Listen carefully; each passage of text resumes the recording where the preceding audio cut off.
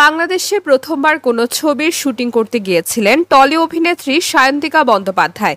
ছবির নাম ছায়াবাজ। তার বিপরীতে ছিলেন জায়েদ খান। সেখানেই গিয়ে হেনস্থার শিকার অভিনেত্রী।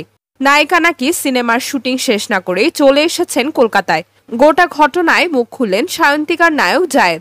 ষড়যন্ত্রের গন্ধ পাচ্ছেন নায়ক। ত্রিশ অগাস্ট সায়ন্তিকা বাংলাদেশে যান। বিমানবন্দরে নায়িকার জন্য ফুল নিয়ে হাজির হন জায়েদ। এরপর তারা কক্সবাজারে আট দিন শুটিং করেন। গত সাত সেপ্টেম্বর ছবির শুটিং শেষ না করেই কলকাতায় ফিরে আসেন সায়ন্তিকা।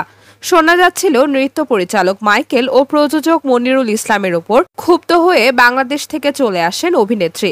বিনা অনুমতিতে অভিনেত্রীর হাত ধরেছিলেন নৃত্য প্রশিক্ষক। অন্যদিকে বেশ কিছু টেকনিক্যাল গণ্ডগোল বাধে। এই প্রসঙ্গে আনন্দবাজার অনলাইনকে সায়ন্তিকা বলেন বারবার আমি প্রযোজক মনিরুলের সঙ্গে কিছু টেকনিক্যাল সমস্যা নিয়ে যোগাযোগ করার চেষ্টা করেছিলাম, কিন্তু কোনো উত্তরই পাওয়া যায়নি। ওর কোনো পরিকল্পনা নেই, কোনো ব্যবস্থা নেই। এবার এই প্রসঙ্গে মুখ খুলেন অভিনেতা জায়েদ খান। তিনি অবশ্য গোটা ঘটনায় ষড়যন্ত্রের গন্ধ পাচ্ছেন। অভিনেতার কথায়, একদল লোক সবসময়ই জায়েদ খানের খোঁজ রেখে বেড়ায়।